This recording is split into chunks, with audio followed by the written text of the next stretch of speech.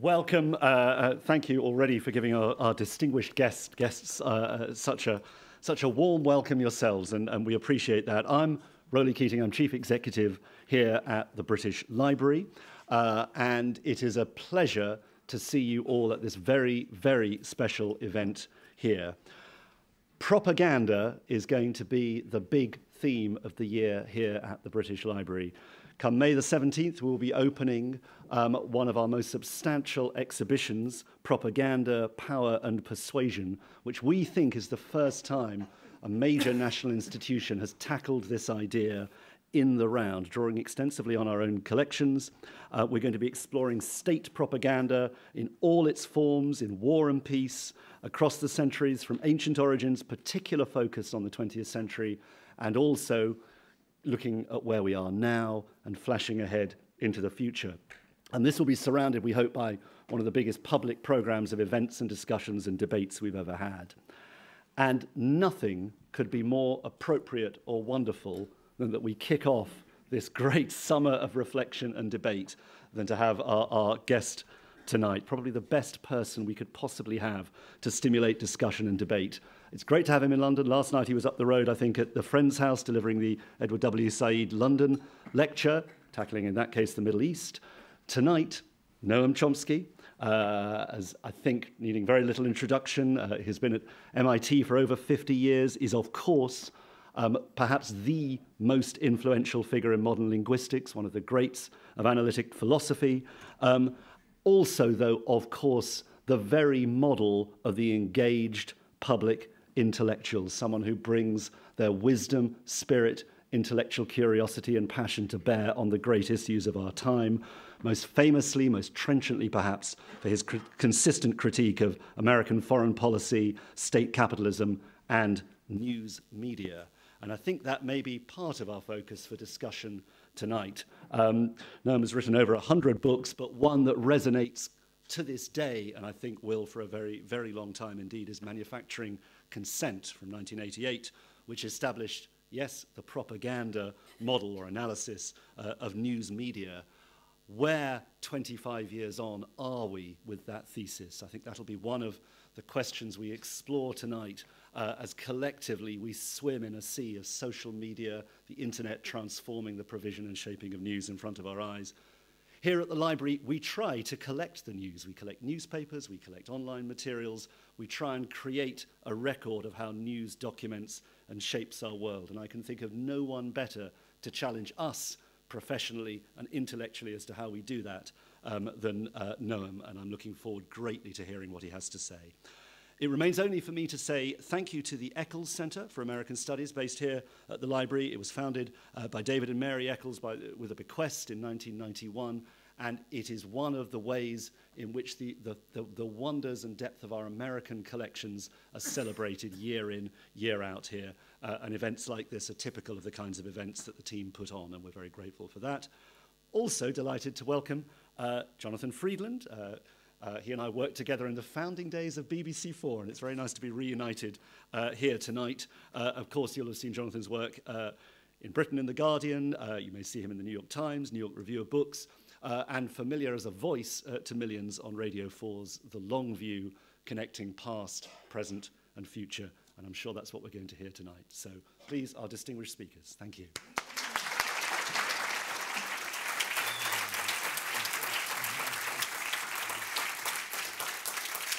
Thank you.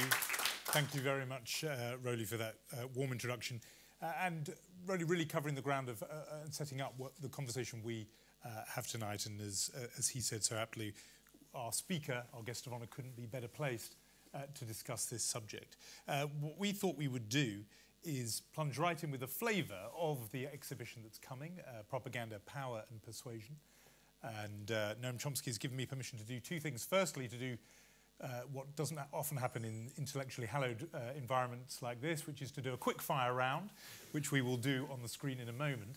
But also, uh, he tells me very graciously that he, his own children, and I'm guessing perhaps grandchildren as well, sometimes say, when they've asked a question, please give me the five minute lecture version. So I, I, I, pass that on because it means that if you see me appearing to be rudely uh, winding up or moving on our uh, honoured guest. That is, I have the blessing and permission to do it, um, just as we move on, because we've got a lot of ground to cover. So, uh, on with the quick fire round. I, I thought it would be useful uh, before we ask you to give us a very distilled version of, of, of what Roly referred to, the propaganda model that is the core thesis of manufacturing consent. If we just had a look at some examples of propaganda from uh, the exhibition, and in a way just to do, uh, have a quick look at what is and what isn't. And um, I'm going to have a go with this. There we are. I hope everyone can see that. Um, ein Volk, ein Reich, ein Führer, one people, one state, I suppose, one Führer from, uh, we guess, I think the 1930s. This a Soviet era depiction of a weeping Statue of Liberty.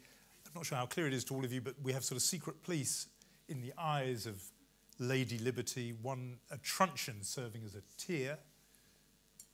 And then this from the wartime period in the United States, the artist George, uh, rather, Norman Rockwell, a very different meaning, George Rockwell, uh, Norman Rockwell, Save Freedom of Speech by War Bonds. Now, uh, Noam Chomsky, just start with these three.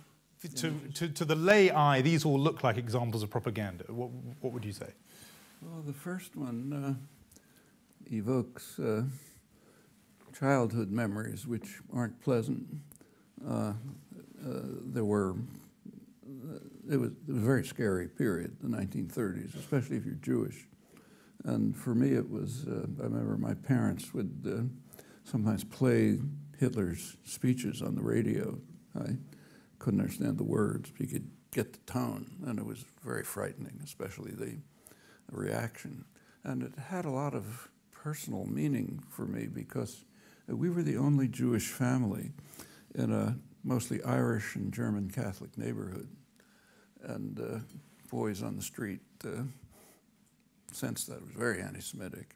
Uh, the kids were all going to a Jesuit school, and when they came out, they were raving anti Semites. Uh, so this was, uh, then they'd calm down later in the afternoon. You could play ball and that sort of thing. But uh, I grew up with a visceral fear of Catholics.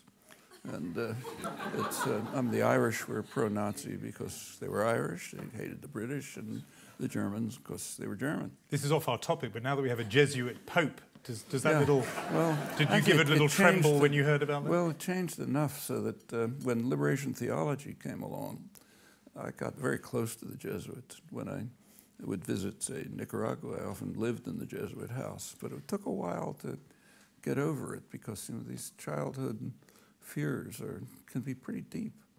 Um, I, um, I, got when I got older, I realized that this is ridiculous, but uh, it's deep. And the Hitler imagery was very striking. I remember beer parties when Paris fell.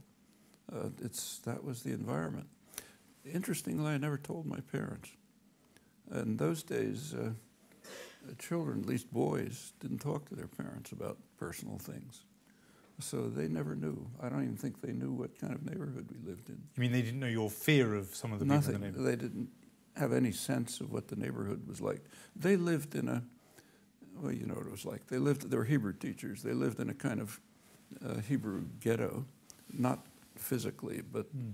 Uh, the only people they knew were similar people. I mean, I remember uh, uh, women, my mother's friends, who would, all bilingual, of course, but they would call the, if they had to order something from a downtown department store, they'd insist on speaking Hebrew, so they'd get a Hebrew translator. You know, it was quite, and there was a big Kulturkampf going on at the time between the Hebrew and the Yiddish uh, uh, diaspora, and they were on the Hebrew side, so. But, uh, their language was Yiddish, but I never heard a word of Yiddish when I was growing up. So very potent memories for you personally that these stir. Does it, do, into it's rather difficult to hear. I wonder if you, you could both speak up a bit. Um, well, or maybe our colleagues there can turn up the volume on the microphones so, that, so you'll hear us amplified. So we'll, we'll take note of that. Um, to move, move, to this painting, this poster um, from uh, the wartime period, it, it, does this count as propaganda as much as that first yeah, picture of that's, Hitler? Uh, our version of socialist realism.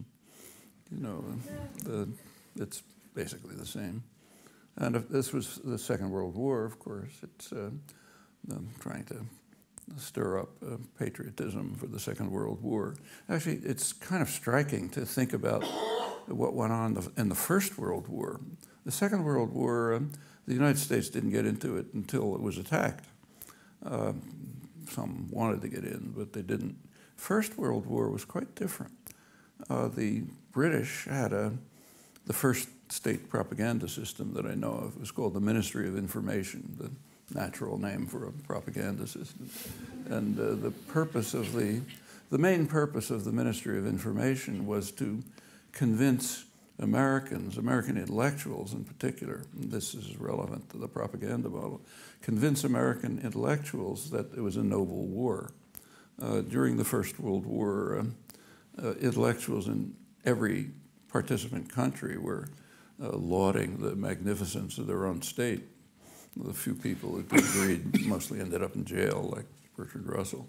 But uh, they had to convince they were trying desperately, of course, to get the Americans into the war. And uh, Woodrow Wilson had been elected in 1916 on a peace platform. The slogan was uh, peace, not victory. And they had to somehow turn the population around very quickly so they'd begin to hate everything German. You know, and it was really, and it was very successful.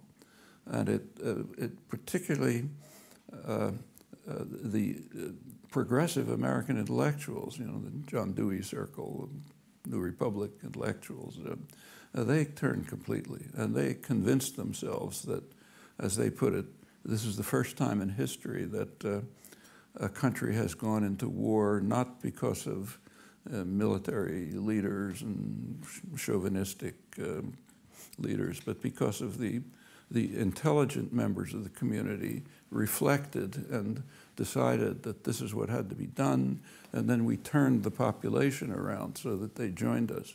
Of course, the intellectuals who were, uh, they were being fed ludicrous British propaganda, the kind that was later exposed in the Bryce Report, and you know the Belgian children with their arms torn off and all that stuff, and it worked very well. And that's uh, kind of set off the modern system of propaganda. Well, I, I want to get on to the, you, particularly your point about the propaganda model, but just before we leave our quick fire round, I want yeah. to have a look at two newer examples. Now, it, Occupy. That's from the Occupy movement, as you said. The 99% have no borders. That's the clue.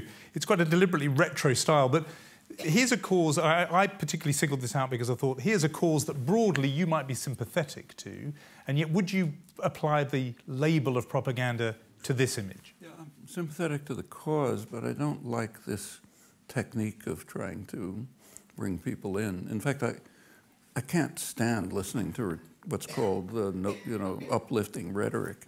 It just really turns me off, and the, for the same reason, this kind of thing. It's an appeal to uh, emotions, not uh, understanding and uh, it's obvious what it's trying to say. But uh, so you don't like it even when it's in the service of a cause oh, you may sympathize. I can't stand it. Yeah. Well, well, I mean, I can't listen to Martin Luther King speeches, literally. Although I greatly admire him, because it's an just the style.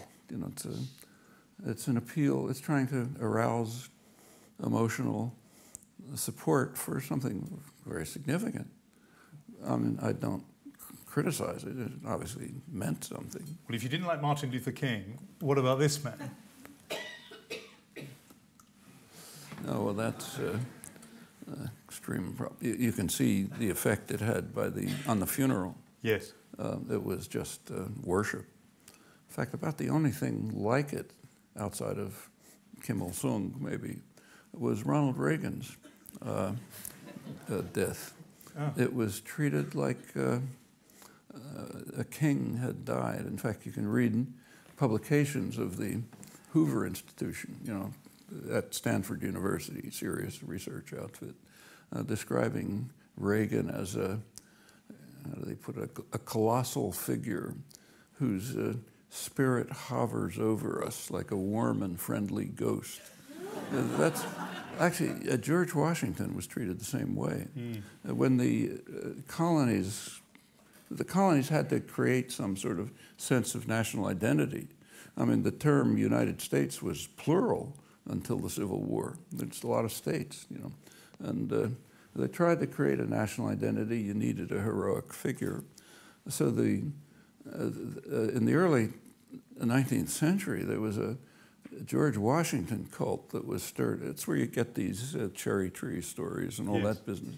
It was all concocted to try to show that he was practically not human. He was a noble gentleman. Uh, uh some of it's very funny. Uh, for example, if you go to the Capitol building today, there's a statue of George around 1830, I think, of Washington in the style of a Greek god you know, he's Zeus.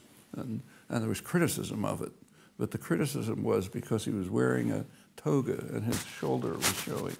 but other than that, that's fine. He was God, you know, perfect, perfect Roman, perfect. And know. this would fit that category of myth making. It's the same kind of thing, and it leaves you cold, um, regardless of the cause.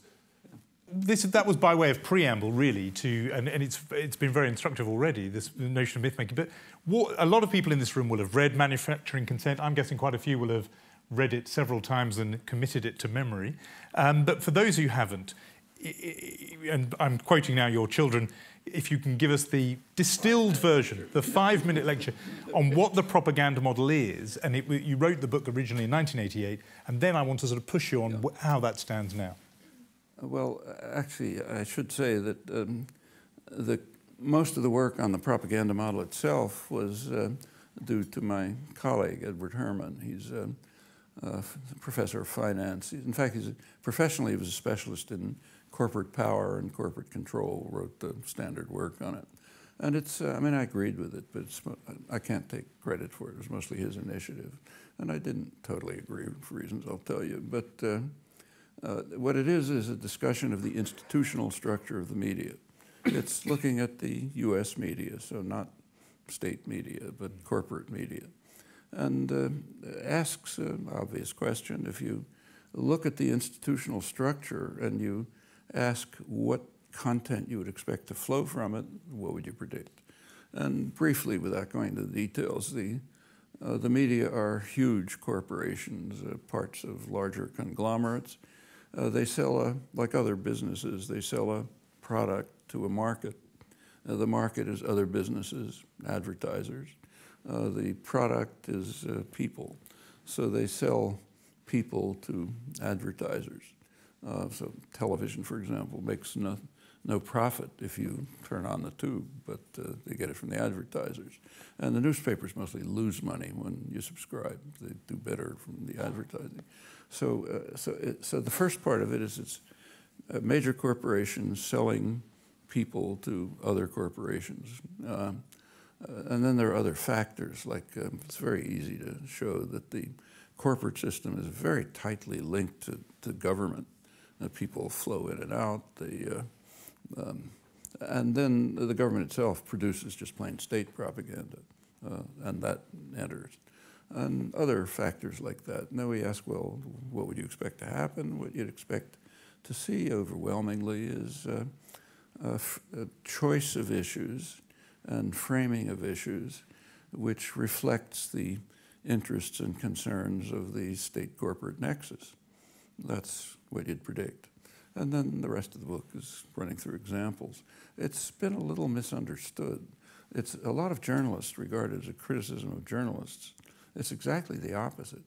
Uh, in fact, about a third of the book, uh, the latter third, I suspect nobody ever read it, is a defense of journalists against attacks from liberals, from Freedom House. You know, the mm. Freedom House wrote a vicious attack, couple volumes of attacks on American journalists uh, for stabbing the United States in the back in Vietnam and losing the Vietnam War and so on. And they, uh, it's two, um, two volumes, one commentary and, the other uh, the documentary background for it.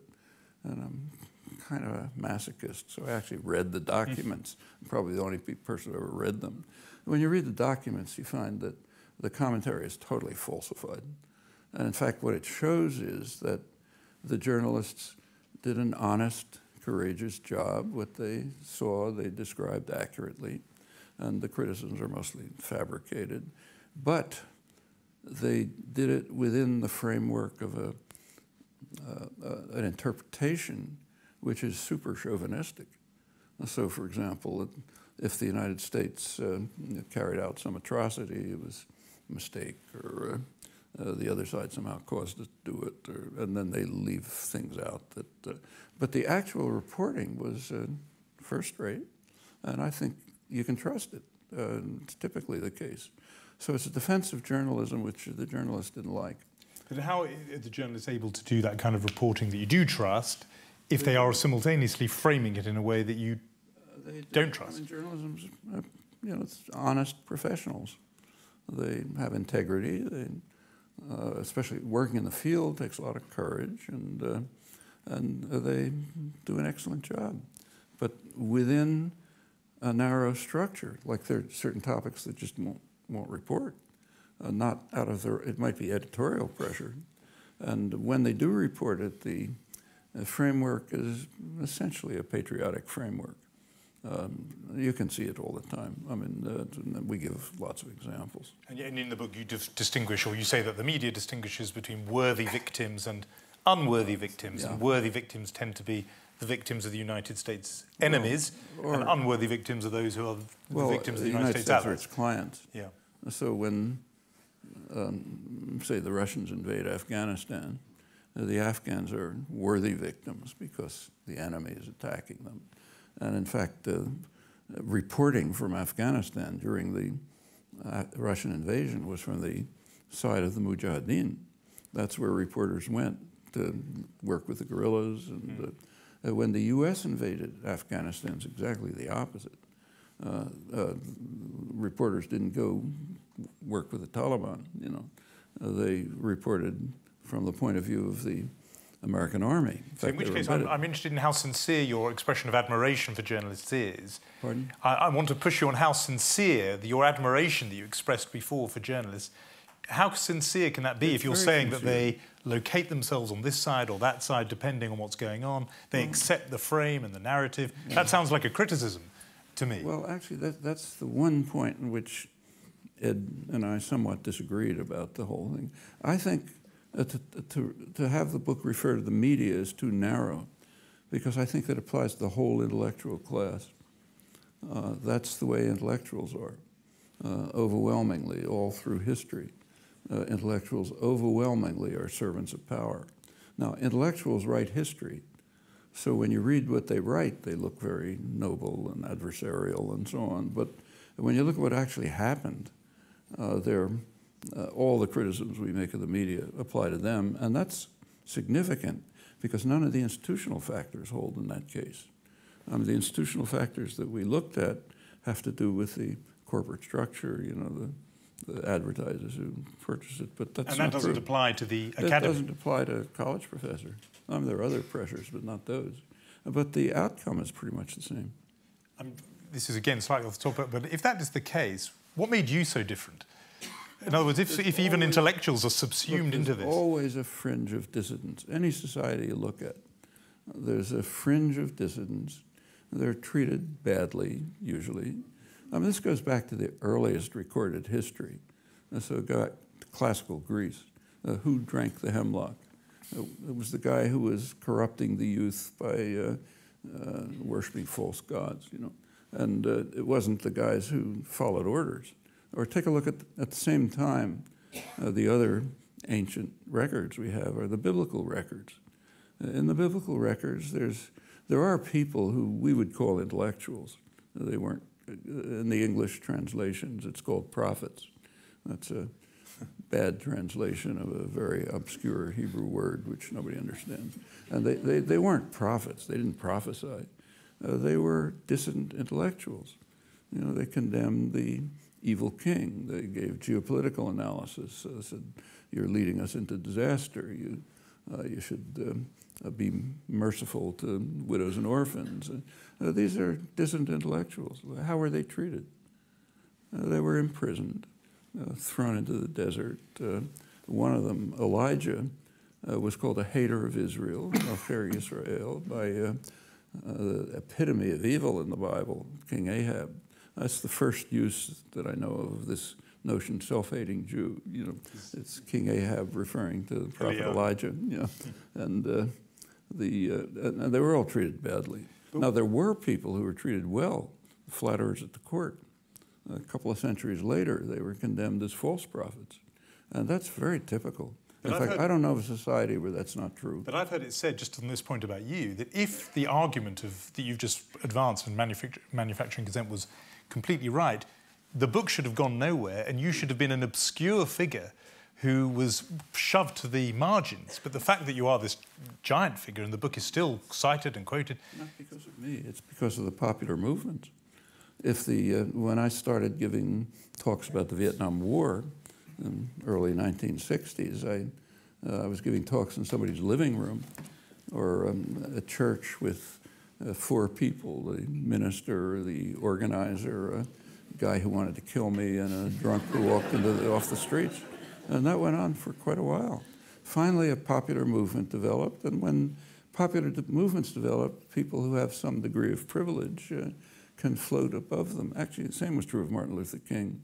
I'm sure he would have been the first to say if, uh, if it hadn't been for uh, young students sitting in on lunch counters and riding freedom buses and getting beaten to a pulp by state troopers and everything that grew from that, he wouldn't have, nobody would heard him either. Let's just, I said to you that we were going to just challenge a few things about it.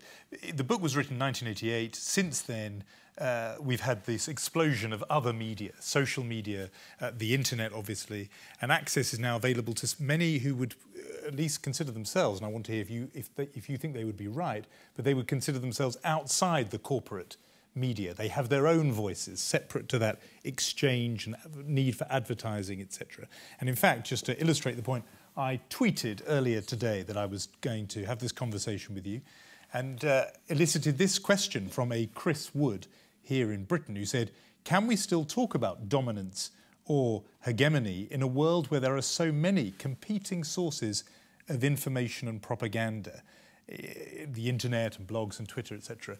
Does that, does this change in the last 25 years render any part of your thesis out of date? It's not a great change. Like when I was growing up in the 1930s, uh, there were uh, all sorts of uh, radical newspapers, I mean, every imaginable kind. In fact, as a kid, I'd go down to the Philadelphia Public Library, or analog to this, not the same, obviously, and uh, spend Saturday afternoon reading radical periodicals, uh, every imaginable kind. And I got, you know, the you know what they were like. But, but they were other interpretations. Now, sources of information is not exactly correct uh, because the, uh, the internet access makes that easier.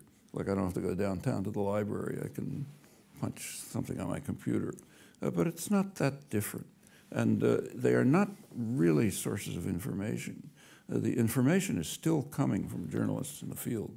But is that right? Because I'm thinking of some of the in the Arab awakenings, the, in Egypt and other places, people were reporting as eyewitnesses immediately in real time. It wasn't going through the filter of any journalist.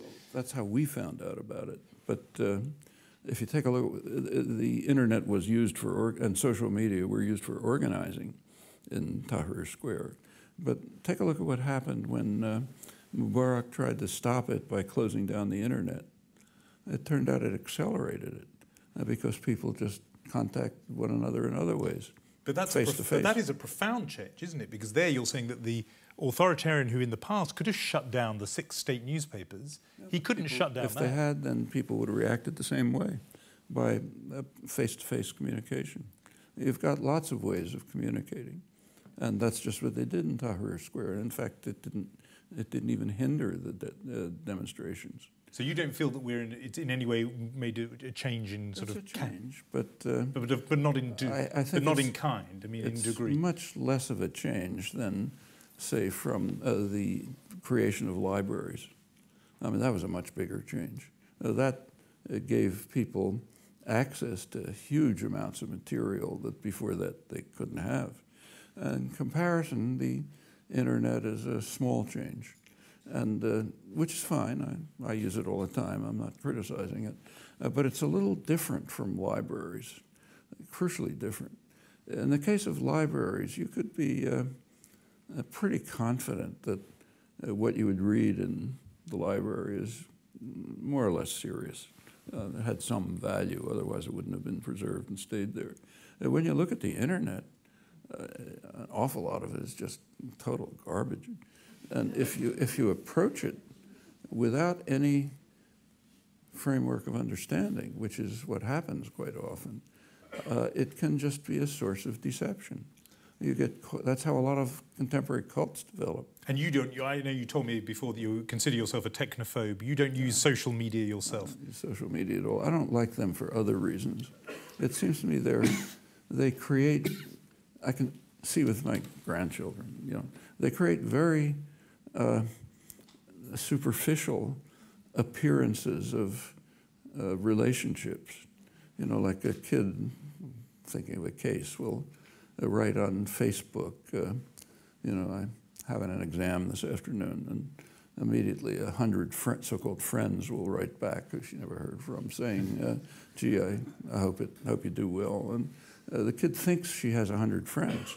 It's nothing, you know. It's just uh, replacing real friends by uh, virtual friends. For somebody who doesn't use social media, I think you've got quite a good grasp of the teenage thing going on there. I, have got experimental subjects. in the form of your grandchildren. There, there's, I should uh, promise that we are going to open this out um, for, to wider conversation and soon. There's a couple of areas I just want to probe before we do. Another change that's happened besides the internet change has been a kind of fragmentation of the big media that you were talk that was still there in a, in a big way in 1988 decline of the big city newspapers would be one phenomenon. But for example, cable television. So there is now Fox News on the right and, and an MSNBC News on the left. That feels like a proliferation, a, a, a, range of views. Or for you, are they just two heads of the same corporate beast? I think if you look over the last, um, say, my lifetime, last, uh, my conscious lifetime, last 70 years, say, there's been a narrowing of media, sharp narrowing in England too. Uh, remember that as late as the 1960s, uh, the British tabloids, which you know beyond junk, were serious newspapers, mainly labor newspapers, and pretty serious ones. Uh, the New York Post, which is a tabloid, uh, that was the left-wing newspaper. Now it's uh, beyond idiocy. the Daily Herald, I think it was, was the best-selling newspaper in England until the early 60s. It was a social democratic labor newspaper. It also had a lot of uh, loyalty, reader loyalty. People read it, it was serious. It couldn't uh, survive uh, capital concentration in advertising. And in fact, if you look back from the 19th century to till today, uh, there's been a sharp narrowing of media. In the 19th century, there was a huge proliferation of media. Uh, labor press, uh, ethnic press, all kinds of things. But all these things are now there, aren't they, on the internet? Mm-hmm. As, but all these things are there now, aren't they, on the internet as blogs for every possible no. political well, but strand? then they were actually, they were serious newspapers that people participated in. And it wasn't just uh, anything that comes to mind, I'll write it down. Uh, they were committed, and they're very interesting. If you, uh, in fact, if, there's a very good book, which maybe some of you have read, by, on the um, reading habits of the British working class.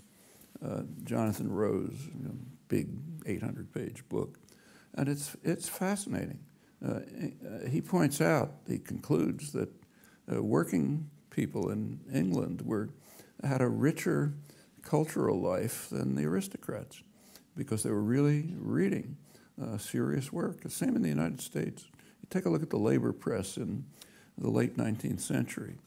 Uh, the press was written by um, Irish artisans from going to the mills, uh, what they called factory girls, uh, young women from the farms who were essentially being driven into the mills as the early industrial revolution.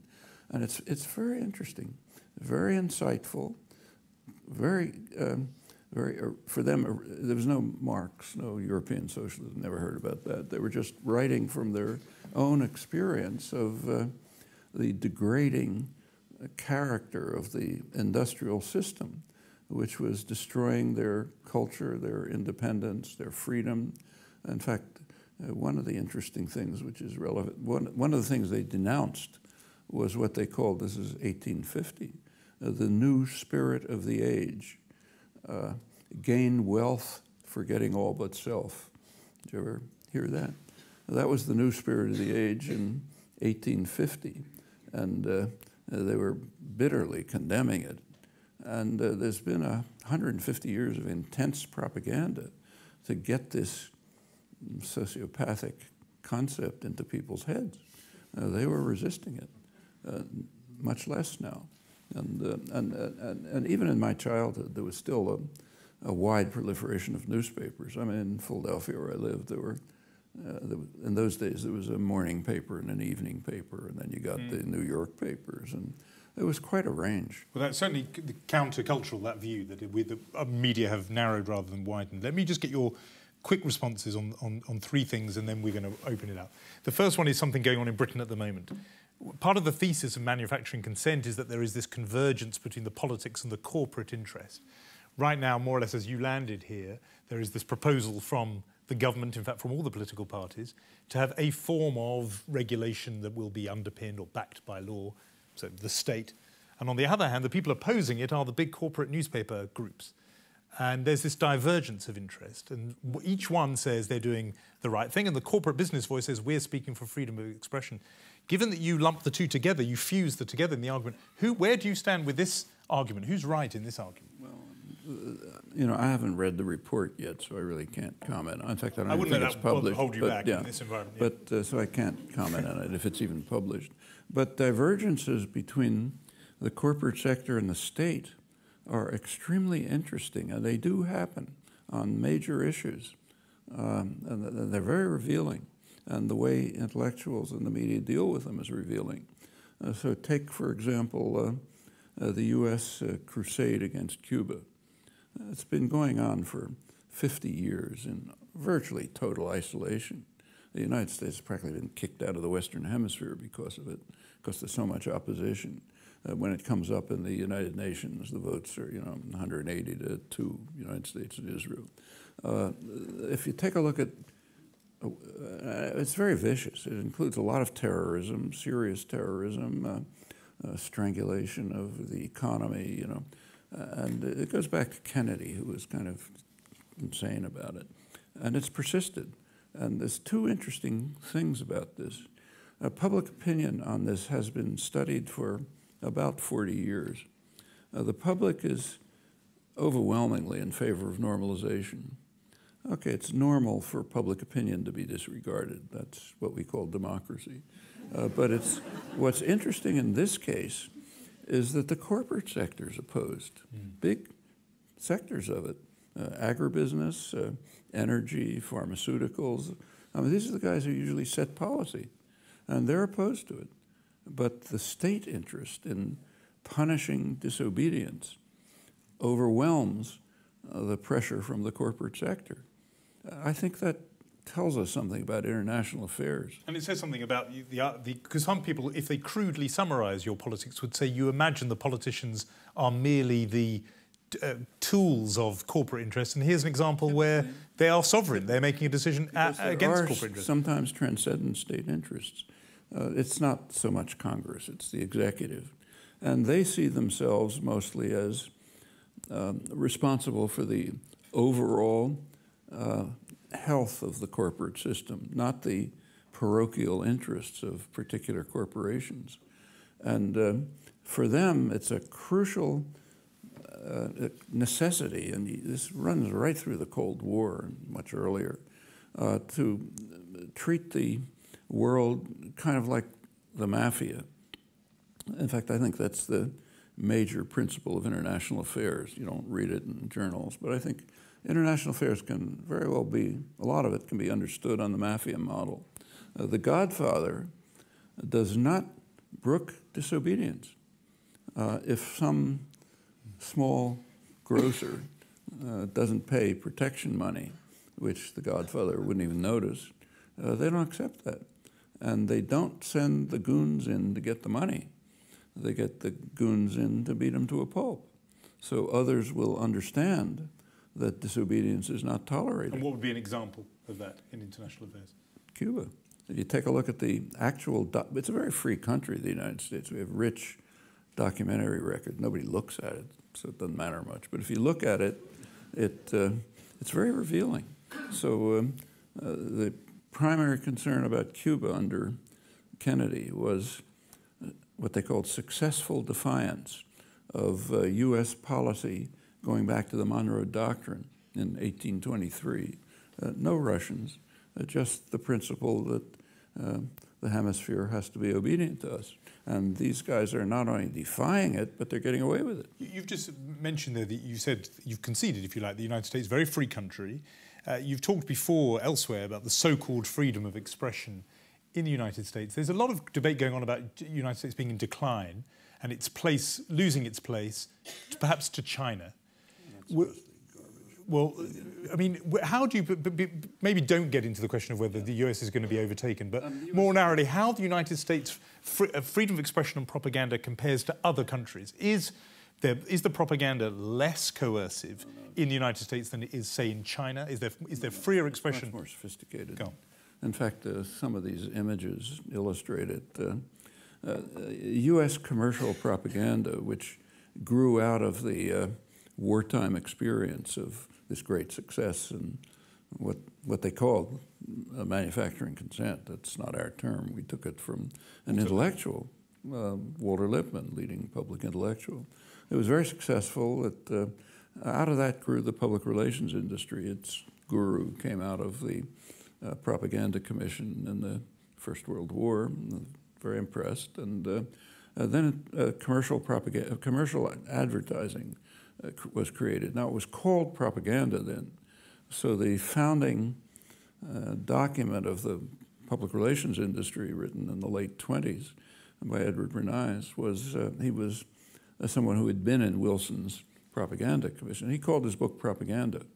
And it's uh, about, it's, uh, it, it, gives the standard doctrines of the intellectual classes. the uh, which goes back to the English Civil War. Uh, the people are rabble. They're stupid and ignorant. Uh, they're meddlesome um, outsiders, I'm quoting. And uh, for their own benefit, uh, we have to take care of them. It's straight out of Lenin. It's almost identical with Leninist vanguardism. The people don't understand. We're the responsible men. We understand. And for their benefit, we have to engineer consent. And we have to control the minds of the people so that they uh, do the right thing. Uh, and that's our task. That's what propaganda is for, whether it's state or commercial. And uh, the commercial cases were kind of interesting. Bernays himself made his reputation and became a great figure because of the first major advertising campaign that he ran uh, in those days, this is 1920s, uh, women didn't smoke. And uh, hmm. the, you know, the manufacturers realized there's a big market out there losing. So he was hired to uh, convince women to smoke. And he ran campaigns in which uh, you know, models would walk down Fifth Avenue holding cigarettes and presenting the image. You want to be cool and modern, you know, you should, like the models, you should smoke. Uh, I don't know how many tens of millions of corpses he created, but he became a liberal hero for this. Uh, that's what commercial advertising was then until today, and it was very much admired. Uh, Goebbels uh, uh, picked up, he was very impressed by American commercial uh, propaganda. It was called propaganda, advertising, we call it now. and in fact, the Nazi propaganda was modeled on it. And he describes in detail how Goebbels, how, you know, uh, simple images, you know, appeal to the emotions, uh, you know, all that. And the Nazis uh, picked it up and ran with it. Now, the Bolsheviks tried, and that Bolshevik picture is an example, but they were too crude to get away with it. Uh, so the Bolshevik propaganda you can barely believe. But given the sophistication of it, and you use the word sophistication, does that mean what? You said how sophisticated it operates in the United States, but does it mean that you would trust information that you got in the American media less than information you would read in the Chinese media, no, for example? Chinese media is a joke. I mean, I, I was in China a couple of years ago, and uh, I mean, I can't read Chinese, but they have a an, an English newspaper, and you, you can kind of watch television and figure out what they're talking about. Uh, anything written was so comical you couldn't believe it. But what was interesting was what they didn't report. Uh, when I got back to the United States after a week in China, I discovered that there had been a massive traffic jam from Mongolia to Beijing with trucks sitting there for days uh, because they couldn't get through. Was, nobody knew about it. There wasn't a word about it there. I found out when I came back. So, for all your criticisms of the American media, there is still there's still value in it. You still regard it as free, free relatively. It's, it's free because there's the United States has very little government coercion, but it has enormous obedience, which is kind of striking. Uh, the, and I think that uh, relates to what I said about the intellectual classes. There, there's no coercion at all. Um, the only coercion is, you know, maybe you won't get a good review or something, but uh, it's not like being sent to a torture chamber. Okay, well, I'm, gl- I'm glad you made the distinction. Before we open it up, I, I, I wanted to cite another uh, response that came in when I offered uh, people on Twitter to suggest questions to you. And one of them was this uh, about Serb propaganda in the Serb propaganda. Serb, Serb as in Serbian, yeah. Mm. And the question was, so the suggestion was that I should ask you, why did he endorse Serb propaganda and imply the Omarska and Trnopolje camps were invented? Shameful, said this person on Twitter. And it was actually the person sending it was somebody who had themselves lived in Sarajevo during the siege of Sarajevo, who said, I was in Sarajevo at the time, I could see very well from where mortars and bullets were coming, etc. Now you know you've had this battle with a few people publicly. Well, with uh, not. I never said anything about the Balkans, but uh, I, I, wrote about Kosovo, but said practically nothing about the Balkans. Uh, but uh, I don't understand exactly what was said. He says we accepted Serb propaganda. No, the criticism was that you had, oh, I, um, no, and, and, and the particular claim, as you know, centres on Srebrenica and the, and the idea that you have cast doubt on Srebrenica. You've no, I didn't. What I said say, is say your piece what it. I did. What I said is you should tell the truth about it instead of lying, uh, and I do believe that. I think it's useful to tell the truth. Uh, what happened in England, particularly uh, in the early '90s, was quite dramatic. I mean, British journalists and intellectuals seized on the Serb atrocities, which were real, uh, with just love I mean, finally they had a chance to condemn somebody else and uh, seem very noble by agreeing with 100% of opinion. And that's irresistible. And you start getting a ludicrous propaganda coming out, including uh, the left press. And it, it just became a passion. You couldn't tell the truth about it. Uh, so uh, so on when Srebrenica, you said you, it's important to tell the truth. I mean, the, tell the truth. Those those journalists who were there, who reported on it, uh, believed the truth was that this was well, a massacre. Well, first of all, there, there really weren't journalists there. They rep they reported afterwards. And but what what do you say is the truth then of what happened? Well, the truth is that uh, well, the truth is, if you want to go back a few months, that uh, uh the uh, uh, the armies, the Bosnian armies uh, um, uh, Srebrenica was a protected base, theoretically. It was, so nobody could get in, presumably. And the, the um, uh, uh, Muslim armies were using it as a base to attack Serbian villages outside. And they were very frank and open about it. Uh, Naser Oric, the head of the militias, uh, bragged to the press, it was reported in the United States and the Washington Post and so on, that he was sending his troops out into the Serb villages and beheading people and torturing them. And then they'd go back into the safe zone. Well, you know, it's pretty clear that sooner or later there's going to be a response to this. And what he then did was pull out his militias. And when the Serbs came in, which they did in reaction, uh, they were kind of surprised. There was no military defense. And then they carried out a lot of atrocities. The Serb forces did? The Serb, forces, yeah, we don't. I mean, it's called genocide.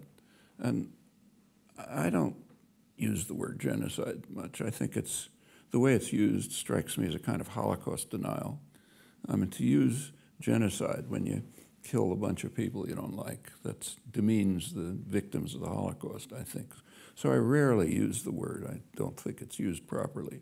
But to kill, say, a couple of thousand men in a village, and after you've allowed the women and children to escape, in fact, truck them out, uh, that doesn't count as genocide. It's a horror story, but it's not genocide. And you say a couple of thousand. I mean, people claim and would argue that the figure is much higher than that. Well, the figure figures are debated, but then you don't really know. I mean, the highest figures that are given are around 8,000. Uh, but it's not from, uh, there's been an intensive effort to, when enemies carry out an atrocity, there's huge effort that goes into finding every piece of a bone and uh, the DNA analysis and try to get the biggest number you can. When we carry out a comparable atrocity, nobody even investigates. And, and the Bosnian but, woman who wrote to me on Twitter said that you were often cited, she said, by Serb propaganda. That no, Professor Chomsky agrees with us. No, I never does, does that trouble you if you were being held up, prayed in aid by the Serbs? No, you can't. Not a, like I'm. I'm quoted by Iranian propaganda because I say things critical about the United States. You can't help that. Uh, it's uh, I can't help what they do, but I think we ought to tell the truth about it. And the truth is, it was an atrocity, but uh, uh nothing like what is claimed in, say, the British press. Bad atrocity. And uh, this is also true of the camps. That's an interesting story. And uh, there were a couple of uh, detention and concentration camps. Uh, the uh, first one that was investigated was a Guardian reporter, Ed Vulliamy, and uh, some ITN uh, yes. Uh, TV people, and uh, they reported on this camp, which they described as a detention camp. They pointed out that you weren't forced to stay there. You could read the early reports, uh, the eyewitness reports. Uh, people could get out if you wanted. They were holding them there, but not a concentration camp. later, the story changed. It became Auschwitz same journalists, incidentally, uh, reported it as kind of uh, Auschwitz in Europe. They just changed the story, not on the basis of new evidence, it's just the mood changed. There was a small newspaper, kind of crazy newspaper, uh, LM it was called, yes. which had four people or something. Uh, they sent a photographer uh, to the camps who took photographs and essentially confirmed the original story. Um, you're not claiming the original story was faked? Oh, no. I think it was an eyewitness story. A reporter gives an eyewitness description, and it's usually true. Okay. You know? So I assume it was true. It's British reporters. Uh, then what happened is interesting.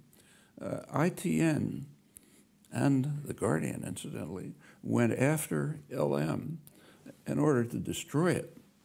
And they relied on these utterly scandalous British libel laws, which are an international scandal, uh, and do make it possible for a big corporation to put a tiny newspaper out of business. They can't pay the legal costs and so on.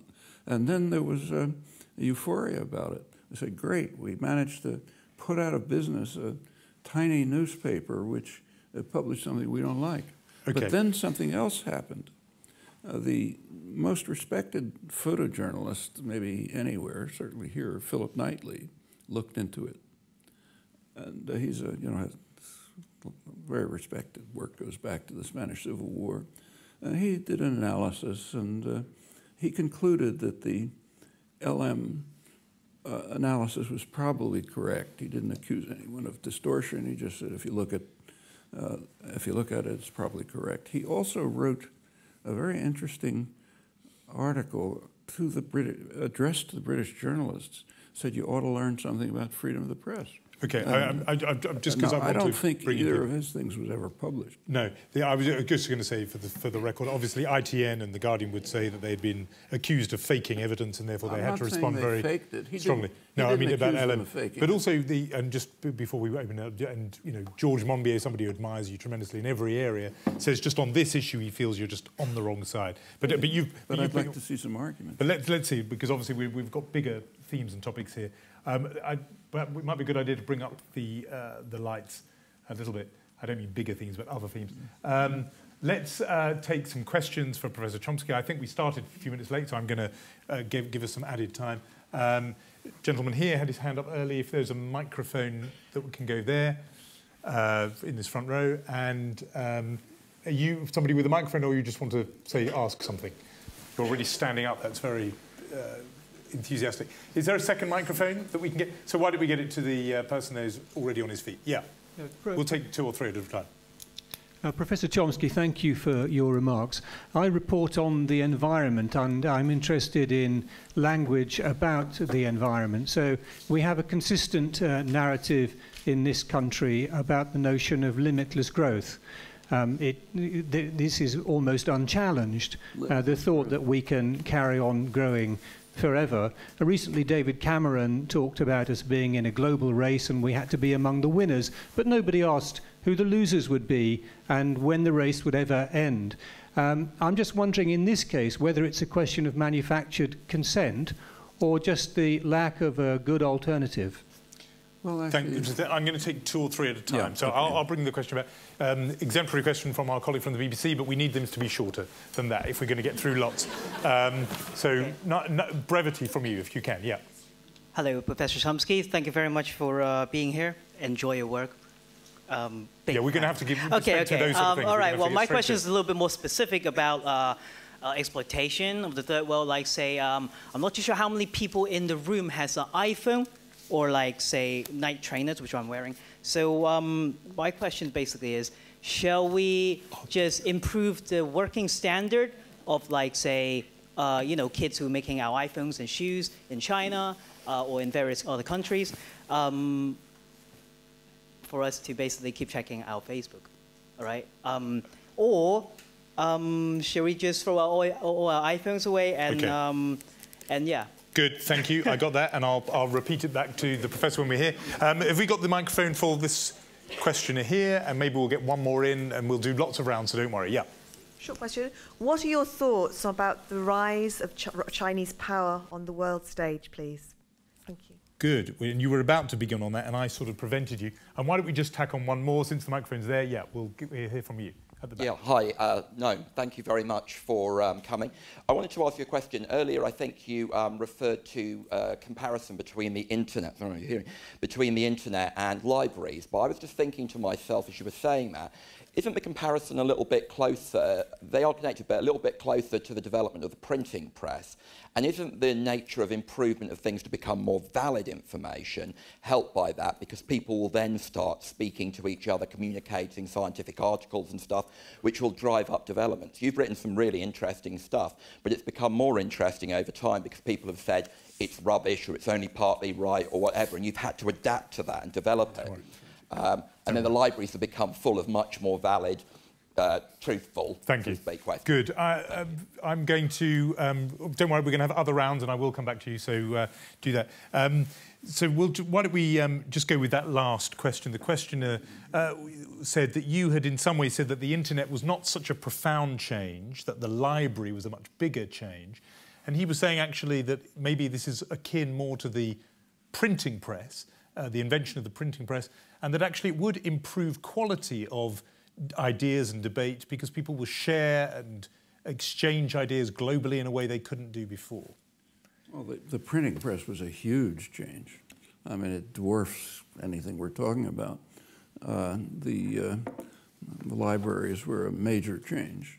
Uh, the internet, from this point of view, is a small change and has uh, mixed effects. Uh, as I mentioned, that there's uh, no quality control, peer review, which is okay. People should be able to say anything they want, but it makes it uh, much less useful than, say, a library as a source of information. Now, the interchange of ideas is fine, but uh, you know, we had, I mean, take, say, interchange of ideas between Britain and the United States, two countries that were pretty close.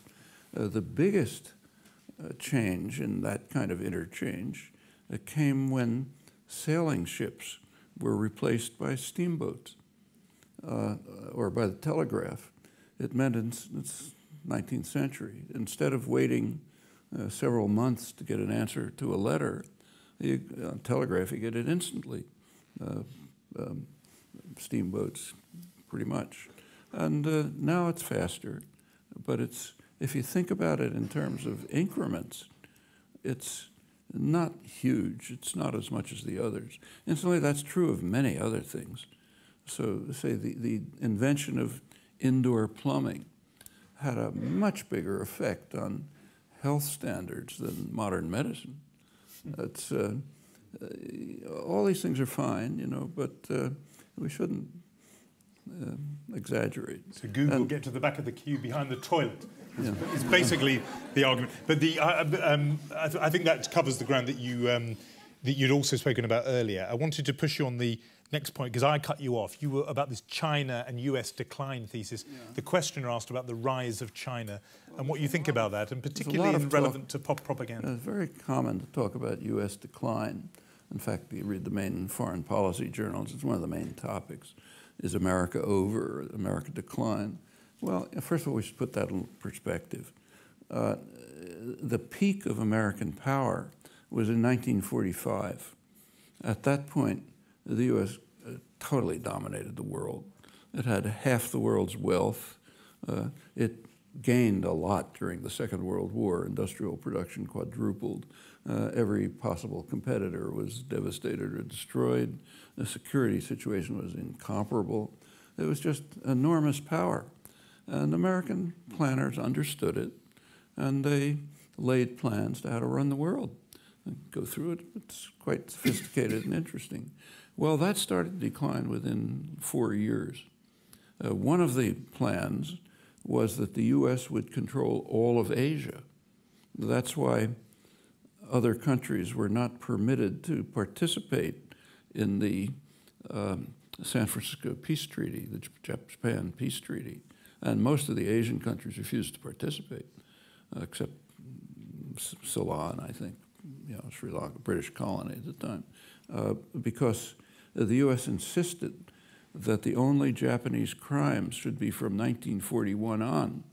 And they had already fought 10 years of war under uh, Japanese imperialism. Those were the worst crimes. But the whole thing. Specifically on China. Okay, let's talk about US China.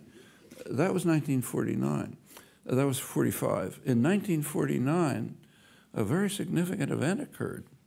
Uh, it's called the loss of China. Chi- China was supposed to be a part of the American empire. And this event, uh, China moved to independence. Actually, the, the phrase is interesting. Like, I can't lose your computer, right? Uh, I can lose my computer. But the loss of China means we own it, obviously. In fact, we own the world, and we lost it. And then one of the big issues in American domestic politics ever since then is who's responsible for the loss of China? You know, uh, um, well, uh, nobody even questions that. It's a good example of how good propaganda really works. It presupposes that we own the world, and then you discuss things within that assumption. And it goes on like that: the loss of Indochina, you know, on loss of the Middle East, and so on. Uh, so that was a, a and ever since, and you know, the decline continued. The world got more complicated. Now let's talk about China. Uh, China has uh, uh, last it's had a spectacular growth rate. It's a very poor country. Uh, you take a look at the Human Development Index, UN. Uh, last time I looked, I think it was 90th.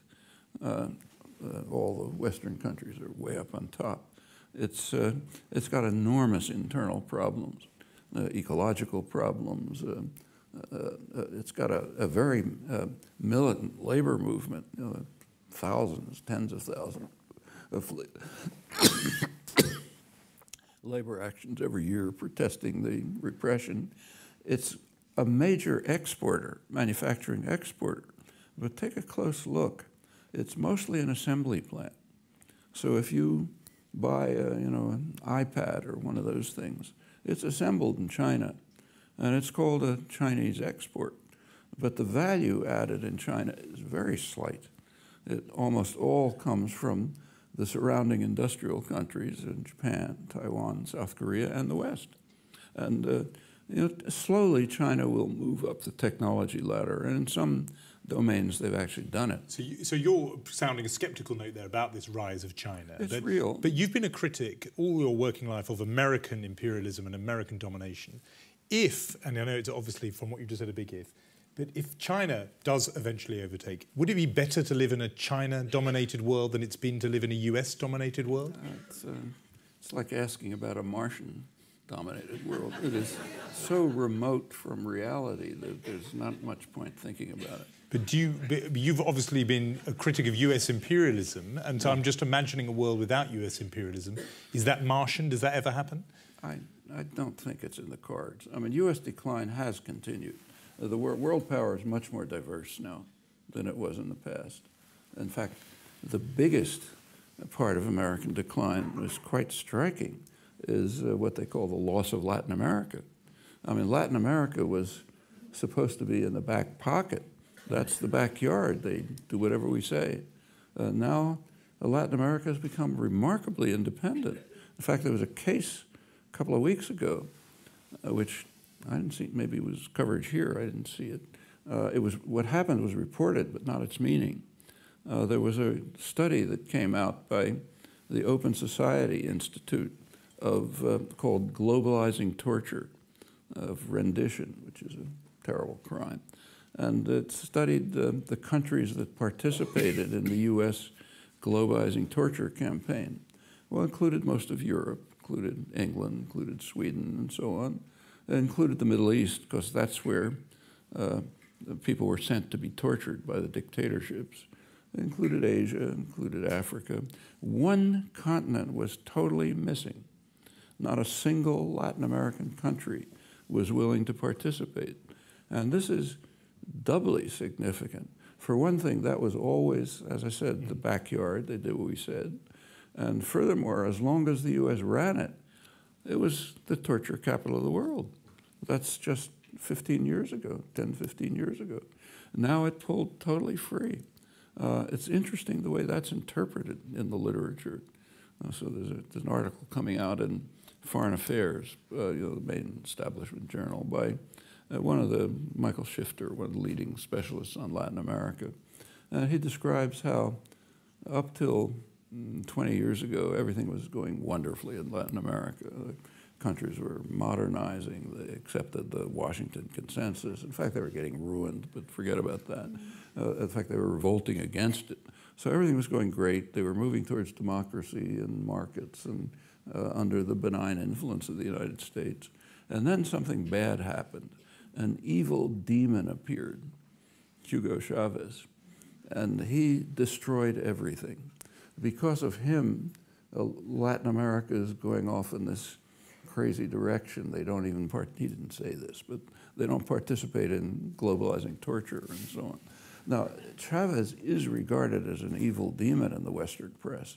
In fact, the coverage of Chavez is astonishing. It's, uh, there's plenty to criticize. Not criticized it, but he is, uh, the treatment of his is like, uh, I don't know what, Hitler or something like that. It's to the extent that uh, the, the, the ceremony at the, you know, the funeral, if you read the American press, it, says what a terrible guy he is. Uh, the funeral, uh, Ahmadinejad yes. showed up, and all these bad guys. You're the one who compared him to Reagan, which is I don't know whether he's ever going to recover from that. No. But, but, I want to get your I want to get your question answered to that question. What actually happened is that every country in the Western Hemisphere, except the U.S. and Canada, sent the president. Most of them yes. declared days of mourning, and uh, Lula, the, uh, sure. the, wrote a very supportive comment on them. Uh, this is all the right-wing presidents, Piñera, Santos, and others. Uh, the U.S. sent a delegation, of which the leading member was a nice guy. He's a former congressman, a former congressman, House of Representatives, who was kind of involved in Latin America. That's the U.S. delegation.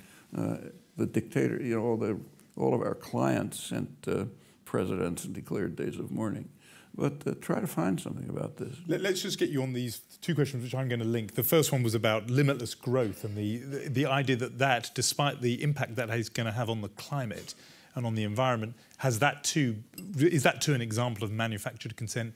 And I think it links a little bit with this point about our desire for, and this is the question I think you didn't quite hear, but the desire for iPhones and Nike trainers, etc., means that we are exploiting uh, labour in uh, China and other places. And, and, I think the question was asking advice really what should we do? Should we demand improved standards or should we just stop buying those kind of goods? But they're, they're, they're both questions that relate, I think, to this global pursuit of growth. And, and what do you think? well, think? The first question about the environment is probably the most important question there is. I mean, uh, the human species has come to a point where it can and probably will uh, destroy the possibility for decent survival. And it's not that remote, you know, our, our grandchildren. Uh, and it's pretty, pretty severe. There's an overwhelming consensus of scientists. Uh, uh, the consensus has consistently turned out to be too conservative. It's worse than they predicted. You can read the science journals every week. There's some new story about it. And uh, the effects are quite interesting. Uh, most of the, the, there's one out of 110 relevant countries, there's one that has no national uh, program for the environment and has no uh, uh, program for renewable energy, national program, the United States. And is, uh, would this be another example of manufactured well, consent, would you The manufacturing consent is extremely interesting. Uh, it, uh, if you look at public opinion in the United States, there's a huge propaganda campaign in the United States, quite open, incidentally. Uh, the Chamber of Commerce, business lobby, petroleum industry, and so on have announced that they're running a campaign, huge campaign, to convince Americans that it's all nonsense, that humans don't have anything to do with it, it's not happening anyway, and so on. And it's had a slight effect. Americans tend to be somewhat more skeptical of global warming and its consequences than other countries, but not a huge effect. The American population is much closer to the scientific consensus uh, than uh, the media and policy. Uh, and that's quite interesting. And it's led to, uh, there's a new campaign that's just underway uh, by an organization called ALEC, the American Legislative Exchange Council. It's a corporate lobby, heavily funded by corporations and Koch brothers and all those nice guys. Uh, what they do is uh, write legislation for state legislatures to try to get state legislatures to accept legislation. And they're, they've got a lot of clout, so they get a lot of them in. You can imagine what they're about. They, they just started a new one uh, which is quite interesting from the point of view of propaganda. They're concerned about the fact that the American population is paying too much attention to the scientific consensus. So, what the new program is designed to do uh, in the states, and a couple of states have already adopted it, is to introduce what they call balanced teaching in the K to 12, you know, kindergarten to 12th grade educational system. A balanced teaching means that along with teaching uh, the overwhelming consensus of scientists, uh, what every national academy says, what all the science journals says. Along that, with that, uh, you teach uh, climate change denial, and that's balanced teaching, and it's in the interests of critical mm. education. You know, getting children to be critical and so on. You know, uh, well, that's uh, it shows the desperation of the corporate propaganda system in its failure to drive the population totally off the uh, international spectrum.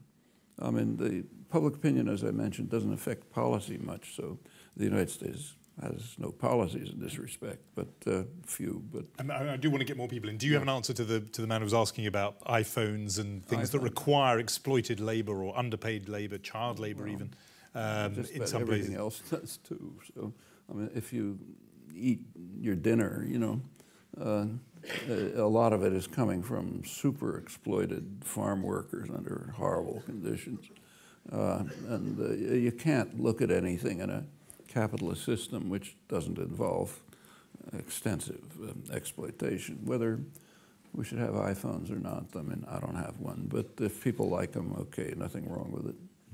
Interesting. Uh, however, the endless growth is a problem. The endless growth. Because, and in fact, it's quite interesting. Here's another thing which is not being discussed and should be. Uh, if there's ever a historian, a uh, century from now, there may not be, but if if we don't succeed in destroying civilization, which we're trying hard to do, uh, and there are historians around, and they look back at what's happening now, they'll be astonished. I mean, the evidence for the climate problem, serious problem, maybe catastrophe, is overwhelming. And there are various reactions to it. Uh, at one extreme, there are groups that are trying to do something about it. Uh, if you take a look, they're mostly indigenous societies, the uncivilized part of the world, uh, the Canadian First Nations, the hmm. uh, you know, Australian Aboriginals. Uh, in Latin America, it's quite striking because there's a substantial indigenous population there. They didn't wipe them all out the way the English colonists did. We're much more efficient. But uh, so there's a pretty big indigenous population, and the countries that have uh, a, strong indigenous uh, population, they're way in the lead in doing something about it. The most interesting case is Ecuador. Uh, under the pressure, it's an oil exporter, uh, but under the pressure of the indigenous communities, uh, Ecuador is the only oil exporter in the world that's trying to keep the oil in the ground. They're asking the European Union for aid to help them not lift the oil, keep it in the ground where it ought to be. I'm sure they're not going to get the aid, but at mm. least they're trying. You know, you go to the richest countries, the United States and Canada, they are hell bent on trying to make the crisis as bad as possible. You know, very enthusiastic about finding every imaginable way to uh, use fossil fuels and uh, let's go to disaster as quickly as possible. Well, that's, you know, that's what's happening in the world. There are things to say about this, but try to find them. Thank you. Let's just take it around here. We've got about 13 or 14 minutes left before we run out. So brief questions and we'll try and get brief answers too. Let's, where, who's got the microphone at the moment? Okay, you go first and we'll get the microphone down and then we're going to go to you. Yeah. Um, do you see the potential for anarcho-syndicalism to flourish once more as it did in Spain during the 1930s? And if um, so, uh, potential for what? I, I didn't. Uh, sorry, anarcho-syndicalism to flourish once more as it did in Spain in the 1930s. If so, where? Okay, um, that may be up your street. Um, let's. I mean, Professor Chomsky Street. Yeah. Professor Chomsky, how would you explain decline of popular participation in formal political processes in the West? I'm talking about lower voter turnouts, uh, decline in party membership, and so on. What, how would you explain that? Thank you. Uh, I've got this, yeah. And um, somebody should have the microphone there now. Yes, given, given, today's theme and Professor Chomsky's association with MIT, I wonder if he has any thoughts about the suicide of Aaron Swartz. Ah, okay. Um, can you, for people who are here, just give us, a, in, in, a sentence, the, what the Aaron Swartz story is? Because I'd rather you summarise it than I do. Um, access to information. And, and, what, and just say, in a sense, who he was and what happened to him. Aaron Swartz was um, an information activist in the United States who was uh, targeted by the United States government for downloading excessively on MIT's campus uh, journals from JSTOR. Uh, and what happened to him? He killed himself. Thank you. That's why I wanted you to tell the story. That's it, um, rather than me. Okay, and. Um, it's just a question of two parts. It was discussed how the media has massively narrowed in breadth between the 19th century and the present. Um, do you see this as part of a wider trend of reduced political innovation as a result of corporate pro propaganda? And then part two is, if so, how is it possible to subvert this trend? Okay, good. Um, and since we're, this may well be our last little go round, we'll squeeze in a couple more and I'll try and sort of bunch them together. So the gentleman there has got his hand up. We've managed to get through the whole evening not talking about the Middle East. Could we have a quick précis? See? We were doing so well as well. Go on. There we are. If you dismiss the internet as a forum, how does a disempowered individual counterbalance the onslaught of mainstream propaganda. Thank you. And last one from here, yeah. Yes. Uh, talking about the, well, I mean, nowadays, for example, we don't have the helmet to deal with, this, with dissidents, but I wonder if you could give us a, a, contemporary example of how, for example, with the use of propaganda, uh, dissidents get silence. An example of how dissidents get silenced? Get silence, yes, with okay. the use of propaganda. Rather than of having they can fight yeah, Perhaps a, a, a personal example. Yeah. Um, okay, well, let's see if we can I can think there's a couple there that pull together uh, well. The question that came in uh, two parts was talking about um, uh, the second part of it was how is it possible to get round this narrowing that happens with the corporate influence over the media, etc. And there was a similarly one saying if you are not that impressed by the internet, what then can an individual do to somehow circumvent to get round this trend that you've been describing? So I'm putting those two questions together. Well, first of all, I am impressed by the internet. I, actually, I was, it was developed in the lab where I was working in the 1950s and 60s. I remember that most of the high-tech culture comes out of the state sector. Uh, it was, uh, we don't have a capitalist system. We have a state sector which is dynamic. That's where the creative, inventive work do, goes on.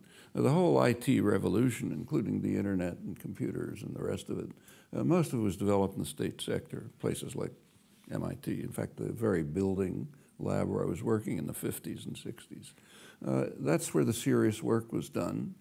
Uh, 30 years later, roughly, it was handed over to private enterprise so that uh, Bill Gates and Steve Jobs could become rich, uh, uh, adapting the work that had been done to commercial uses. That's what we call capitalism, one of the many respects. Uh, so, it's, and I, I, appreciate it. I think it's very good. In fact, I even uh, had personal appreciation. My, I had a daughter in, who lived in Nicaragua during the Sandinista period, and uh, the United States was basically at war with Nicaragua, and there was no way to communicate, no mail service, uh, nothing. However, uh, there was the predecessor of the internet, the ARPANET, which was a military system, and I'm on it because I'm at MIT, so I'm on it, and she managed to get uh, on it. So thanks to the Pentagon, we were able to communicate during the U.S. war against Nicaragua. I like that. But, uh, but I use it all the time. You know, I look things up, I find things. Uh, uh what can we do? We, we've, it, it's better than libraries if you know what you're looking for. You know, worse if you don't know. And that's fine. Uh, and uh, we have, if we, want, if we want to do the hard work, you can find access to all sorts of things. Uh, like uh, in the United States, substantially, in England to a lesser extent, uh, the country is free enough so that you have access, very rich access to internal records. that's invaluable. I mean, a lot of what I've just been saying comes out of internal records. Which what, about, what about, urging people to use non-corporate owned media? I mean, representative of the BBC over there, the Guardian is not has an unusual well, and not conventional corporate structure. I mean, would you say that some of those are uh, yeah, ways to go? State. It's, use, it's, useful. I mean, like I read the Guardian, I read the Independent, but uh, the fact of the matter is that if I had one newspaper, I was stuck with one newspaper, I'd read the New York Times uh, because the coverage is so much broader and deeper. When I come to England, I, I have to buy five newspapers every morning. Uh, and you get, you put them together, you get a lot of things and a lot of junk, you know, an immense amount of junk. Uh, but a lot of interesting things. But you stay with the New York Times, even though your book is so critical of the New York Times, damning of the New York Times. But as, as I said, it's a, it's a, it's a selective criticism.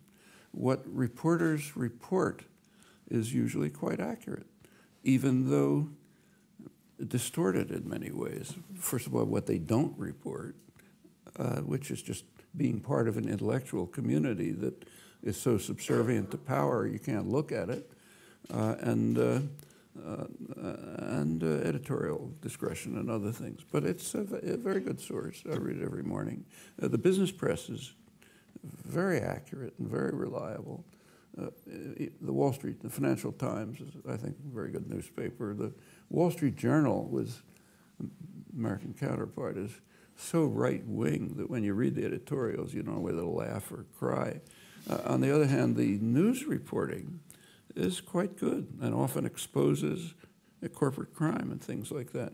I think the reason is that, and that's generally true of the business press, Business Week and others, um, a couple of differences between the business press and the general press. For one thing, the business press trusts its audience. Uh, And uh, uh, another thing is uh, its audience are the guys who run the world. They better have a pretty fair picture of what's actually going on in the world. Uh, There's a lot of other ways to do things. Yes, we're not short of information. Uh, So we're going to try and have to do this as Yeah. short as we can because we've got so little time. But there was a question there about what's your take to explain decline in party membership and in voter turnout in democratic countries around the world. There is a marked trend in that direction. What's it's a your very striking trend, and uh, incidentally, if you, um, uh, I think it's a reflection of the fact that democracy is collapsing, uh, so people don't bother participating. Uh, so take the United States, where it's been closely studied. I don't know if it's studied that much here, but uh, one of the main topics in professional uh, political science is studying attitudes. And you can do it very well in the United States. There's extensive polls, you know. a lot of them are pretty accurate and well constructed. So you find out a lot about attitudes. Uh, you can then uh, look at policy, because that's right in front of your eyes. And you can compare attitudes and policy. Uh, furthermore, a lot of the polls are stratified. So you learn, you know, what the rich want and what the poor want. And when you put all this material together, I won't go through the details, it turns out in effect that about 70% of the population is almost totally disenfranchised. It doesn't matter what they think. Uh, the political class pays no attention to them. Uh, so, uh, So no wonder they're not taking part. so why bother going to the voting booth? Uh, and as you move up the income scale, you get more and more influence. The top essentially get everything you want. And you can see it in the big issues right at this moment. So if you take a look at American domestic politics, uh, the big issue is the deficit. You know, the sequesters, you know, practically closing down the government. We got to do something about the deficit. Uh, who cares about the deficit? Not the population. The population doesn't think the deficit is a big issue. Uh, they think the big issue is lack of jobs. Uh, uh, not the business press. The business press thinks the deficit isn't a big problem. Uh, that we should stimulate the economy, which you do with a bigger deficit. So it should be bigger, not smaller. Uh, the people who don't like the deficit are the wealthy and the banks, uh, the financial institutions. I mean, over the past 40 years, the financial institutions are mostly a drain on the economy, I think. They have become so powerful uh, that they very largely dominate what goes on in the political system. And if you look at, uh, there just came a study by two good political scientists looking at comparing wealth with attitude toward the deficit, and a very close correlation. The richer you are, the more you compare, uh, care about the deficit. The financial institutions care about it. So therefore, that's the issue. It doesn't matter what the public wants. Uh, and for reasons like this, and you can see it in polls. When people are asked in polls in the United States, does Congress represent the population? The figures run single digits, maybe 10%. Uh, so people have, have, no faith in it. It yeah. doesn't have anything to do with us. In fact, one very dramatic illustration, which nobody ever talks about, but you should think about, is attitude toward taxes. Uh, in the United States on April 15th, you pay your taxes. In a functioning democratic society, uh, that would be a day of celebration. We're getting together to fund the projects that we decided on. In the United States, it's a day of mourning. An alien force is descending on us to steal our money. It has nothing to do with us. In fact, attitude towards taxes is a pretty good index of the extent to which a democracy is functioning. And you can look at it and see yourself. So I think it's uh, reasonable and natural for people to stop participating. The I'm going to put together two other questions. There was some, we, somebody asked, uh, can you give an example of a sort of dissenter who is pushed aside by the system? The, and the example of Aaron Swartz in your, uh, your own university in MIT. Uh, you, what, just perhaps it, it, doesn't have to be a long answer on this one because we've got two more things I want to get in. But okay. uh, do, do, you have a, a, response on that? On Aaron, well, it's not. And on dissent. It's. I mean, the number of dissenters who are pushed aside is, is almost universal, and don't want to either they're in jail or uh, if it's Latin America, they get their heads blown off. But in off. the United States, in the United States, they're marginalized. uh, in various ways. The United States free country. You can't do in the United States what uh, was done to LM in England. It's not that a repressive a society. And there's more protection for freedom of speech. Uh, but uh, uh they're essentially, uh, they can't get jobs, they're marginalized, uh, vilified, all sorts of things. Not much punishment, frankly, but um, it's real. Aaron Swartz is a different case and a very interesting one. If, I don't know if it was reported here, but Aaron Swartz was a very bright young kid, a hacker, uh, very did very interesting work on uh, computers, and he was uh, part of the hacking community, which is in favor of uh, opening up all sources. And the way he went about it was uh, he broke into the MIT computer system and uh, what they call liberated JSTOR. JSTOR, for those of you know, is a it's uh, it collects it takes articles in professional journals and uh, libraries or individuals they can do it uh, subscribe to it and then you can get internet access to uh, articles coming out in journals so uh, Aaron he's a not, very nice kid he committed suicide what what happened is he he broke into the MIT system he freed up JSTOR uh, JSTOR called for uh, pressed MIT to do something about him. He was stealing their stuff. So they called the police. They didn't know who it was. They identified him. Uh, then the uh, federal prosecutor got involved, actually the state prosecutor, and pr proposed a ridiculous sentence. Should have been a misdemeanor or something. Uh, but she said, you know, I'm going to go to jail for 40 years or so. He committed suicide. Mm. Actually, there was a plea bargain offered that he uh, should agree to a jail sentence for a couple of months, and uh, that would be. But the family didn't want that, and he committed suicide. Uh, it's it's uh, it's a terrible event. I mean, uh, everyone involved should have pressed the prosecutors not to do anything.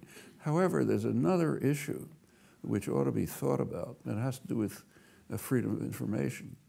If you take JSTOR and make it public, JSTOR goes out of business. We live in a capitalist society. Uh, they can't survive if they don't get subscriptions. If JSTOR goes out of business, nobody has access to the journals. So the next step is, okay, let's liberate the journals. In that case, the journals go out of business and nobody has anywhere to publish. Uh, that's, you can't just liberate things pretending you don't exist in the world. A lot of young kids think you can do that. They're not thinking it through. Well, there are ways around this, uh, but the ways around it involve collective action of the kind that doesn't fit with the new spirit of the age. Uh, what ought to happen is that there ought to be a public subsidy for creative work. Okay, then there wouldn't be any copyrights, uh, there wouldn't be patents, uh, a huge saving, incredible savings, and everything would be open. But that requires doing something together, and we're not allowed to do that. We have to be out for ourselves. The very last thing is I'm going to give you a choice, since we've been talking about freedom partly. You can either take the question about anarcho-syndicalism and where it might pop up in the world. You have described yourself in some places as a, an anarchist or with anarchist leanings. So where might it come? Or you can give us a précis of your views on the Middle East when we are already nine minutes over time. So the choice is entirely yours. Well, uh, the question about anarchism, I think there's a, a simple, inadequate, but simple answer. Uh, if you take a look at what anarchism has meant over the centuries, uh, it varies all over the place. It's a very broad range. But there's one theme that runs through it, and I think it's an important one. And I think recognizing it, everyone ought to be an anarchist. Uh, the theme is that uh, uh, hierarchy, domination, control are not self-justifying. They require a justification. And that's true whether it's a patriarchal family or international society or anything in between. Now, if they can't give the just, the burden of proof is on those who exercise authority. If they can't give a justification, which is almost always, uh, then the system ought to be dismantled. In my view, that's anarchism. Then has a lot of variants. And I think it's a very powerful notion. A lot more to say about it, of course.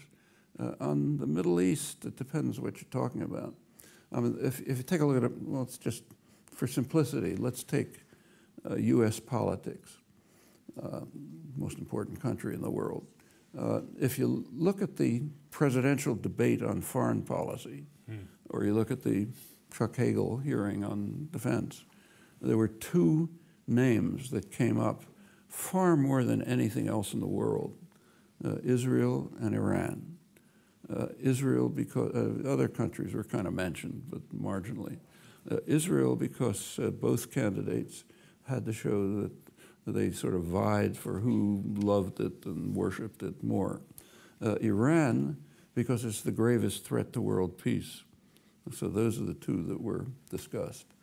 And uh, interesting question is what uh, there are a lot of questions about why, what the U.S.-Israel relationship is. That would be too long to discuss. But the Iran one is quite interesting, uh, very interesting. And what's particularly interesting, it's not getting reported. And the United States have checked, not at all. You can tell me whether it's reported here. Let's say Iran's the greatest threat to world peace, okay? You could argue about it, but let's assume that it's true. Uh, what's the threat? The threat is that they might be developing a nuclear capability, which plenty of countries have. Uh, okay, so let's say that's not weapons, but capability. Uh, so what do you do? Let's grant that it's a threat. I might mention, incidentally, that that's a Western obsession. Outside of the United States, uh, England, and a couple of Euro European countries, it's not regarded as much of a threat. Non-aligned countries don't think so. The Arab world doesn't think so. It's a, it's a Western obsession, but let's accept it since we're here. Uh, what do you do about the threat? Well, there's a number of possibilities. There's some technical proposals that could be pursued. Uh, one of them, in fact, was implemented until it was blocked by the West. Uh, in May 2010, uh, Turkey and Brazil uh, made a deal with Iran in which Iran would ship its low enriched uranium for storage to Turkey, and in return, the nuclear powers would provide Iran with the isotopes that it needs for its medical reactor. Okay, that would end the, end the alleged threat. Uh, what happened when they uh, reached the deal? As soon as they made the deal and ended the gravest threat to world peace, uh, the Obama administration and the media, trailing behind as always, bitterly condemned Turkey and Brazil for breaking ranks. And Obama went off to the UN and tried to get harsher sanctions. Uh, well, the Brazilian foreign minister was a bit annoyed with this, and he released a letter in which it, from Obama to President Lula, the president of Brazil, in which Obama had proposed this, probably assuming that Iran would reject it and win some propaganda points. Uh, then Iran accepted it, so you kill it. Uh, is that a story here? I don't think it was reported the way you've just described okay. it, no. Well, that, that's what happened. I mean, it's not in doubt. There's something much more interesting. Uh, there's a much broader approach to the question. Uh, move to establish a nuclear weapons-free zone in the region. There's overwhelming international support for that. The non-aligned movement, uh, the Arab states, Egypt's been pressing it hard for 20 years. There's so much international support that uh, the Obama administration's predecessors have been compelled to give kind of verbal assent. It would be a nice idea, but not now, and don't bother us. Uh, the, uh, it's possible to implement. Uh, last December, there was supposed to be an international conference in Finland uh, under UN auspices to carry this idea forward. Uh, Iran agreed to attend in early November. Uh, within days, Obama canceled the conference. Uh, uh, well, there's more, but I'll stop there. You know, this ought to be front page headlines. In the United States, not a word. Uh, here, probably the same. Uh, well, this is not a case of reporters distorting the facts. It's reporters being so obedient as part of the intellectual culture, like uh, other intellectuals don't report it either, so subservient to state corporate power that you just don't report things like that. You don't look even. And of course, we know the reason. Uh, the basic reason is the United States does not want to allow uh, Israel's hundreds of nuclear weapons uh, to be either inspected or even discussed. Well, okay, that's a serious question. Uh, I might say that U.S. strategic analysts, uh, many of them disagree. So the former head of the Strategic Command, you know, the, which controls nuclear weapons policies, uh, is headed, uh, developed one of the founders of the whole deterrence theory and so on. He, uh, he said, uh, he said it is dangerous in the extreme for, in the cauldron of animosities that we call the Middle East, mm. for one country, meaning Israel, uh, to have hundreds of nuclear weapons, which encourages others to develop them. Well, that's pretty important. Try to find that. I mean, I've quoted it, you know, a couple other people, but, uh, and he's correct. It is dangerous in the extreme. Uh, uh, but that doesn't fit the paradigm, so it's not discussed. And uh, as I said before, I, I, don't think that our institutional analysis really accounts for this uh, because a, it's over the whole intellectual community, and uh, the institutional analysis doesn't apply there. I'm glad to hear it's not just journalists who are in your uh, sights, but it's a larger and deeper problem. You've explored it and expounded it with such clarity. Uh, I know the people here would probably have stayed for another hour and a half gladly to hear more of you. The exhibition, Propaganda, Power and Persuasion, opens here at the British Library 17th of May and runs till the 17th of September. It only remains for all of you to join me in thanking Professor Noam Chomsky. Thank you. Very much.